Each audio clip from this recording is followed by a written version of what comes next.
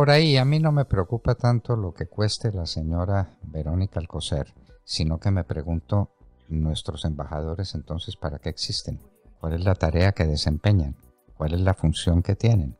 Si en el momento en que se va a desarrollar una tarea que es fundamental para el embajador, hay que mandarles un embajador ad hoc desde Colombia no el presidente de la República, pues que eso fuera otra cosa distinta, a otro nivel, no, la señora del presidente. ¿A título de qué y por qué? ¿Para qué se hacen esas cosas?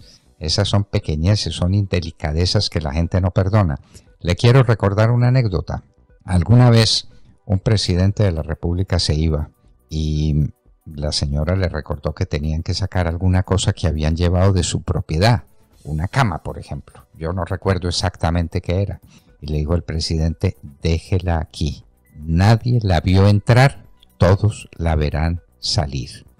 El presidente tiene que ser eminentemente considerado, respetuoso, cuidadoso. No es el cuánto, sino el modo. El modo. Aquí falta modo. La señora Alcocer puede ser una linda compañera de Petro en sus viajes, puede desempeñar tareas en favor de la niñez, en favor de esto, en favor de aquello, no le puede costar dinero al fisco nacional, ni puede suplantar la función que tienen unas personas que están a sueldo de la República como son los embajadores. Entonces, el embajador es embajador hasta el momento en que de verdad se lo necesita. En ese momento deja de ser embajador y se le manda a la señora del presidente. Yo no lo entiendo. ¿Usted? Pues, doctor Fernando, es increíble que se haya firmado este decreto considerando que existen embajadores, eh, considerando que hay una carrera diplomática, que hay un canciller de la República, que además viajó a todos los eventos donde estuvo doña Verónica Alcocer. Así que no, eh, si hubiera faltado la presencia de ella, pues Colombia no hubiera dejado de estar.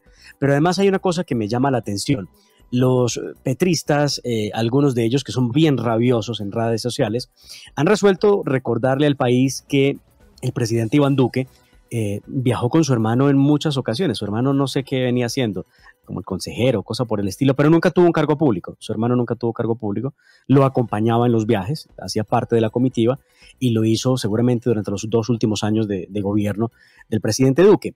Lo cierto es que cuando uno habla de los 63 millones de pesos que se gastaron en 14 días y salen a justificar esos 63 millones de pesos con los viajes del hermano del presidente Duque, preguntando cuánto costó, lo que ellos no han entendido es que obrar mal porque otro lo hiciera o porque otro fuera indelicado, no precisamente es obrar bien.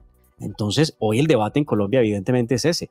¿A qué momento resultó que la primera dama podía ser embajadora eh, ad hoc o embajadora eh, especial enviada por el presidente eh, Gustavo Petro.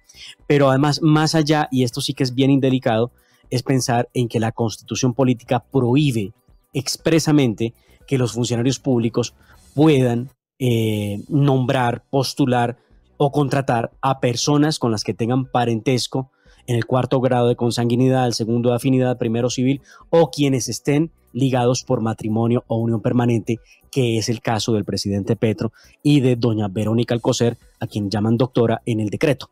Eh, es eso, y no lo han entendido, que violar la constitución no puede ser normal.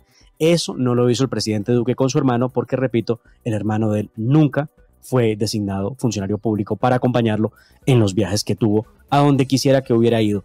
Pero no es comparable la situación. Eh, lo cierto es que la gente no está contenta, la gente siente malestar porque nos están presentando una reforma tributaria que nos va a sacar más impuestos. Y si los impuestos son para pagar los caprichos, los viajes y tal del gobierno, pues la verdad no, no, suena, no suena bien.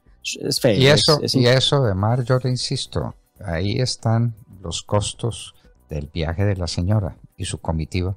Ella no fue sola, ella fue acompañada y fue acompañada al parecer por varias personas que se alojaron en muy, buenos hoteles, por lo menos en el caso de Londres. Demostraron un gusto exquisito. ¿Eso qué es? ¿Eso qué es? En Londres tenemos embajador. Es más, viajó el canciller. El canciller Álvaro Leiva viajó a Londres a rendirle homenaje a la reina nadie supo, a nadie le importó, pues imagínense si le va a importar estando todos los jefes de Estado de las naciones importantes del mundo, si el doctor Álvaro Leiva va o viene. Pero la señora Alcocer, ¿qué papel jugaba en eso? Hay que ser considerado, hay que ser delicado.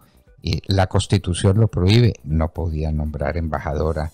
Eh, ese decreto está firmado seguramente por el canciller o por quien firma el decreto dándole calidad de embajadora itinerante a, esta señora. El decreto está firmado por el señor canciller de la República. Por eso, y el señor canciller depende directamente del presidente y entonces el dependiente del presidente le nombra a la señora del presidente para que se vaya a cumplir misiones que cumple cualquiera y misiones que no tienen sentido, no tienen sentido. La presencia en Londres tenía que ser una presencia puramente formal para ir a orar ante la reina.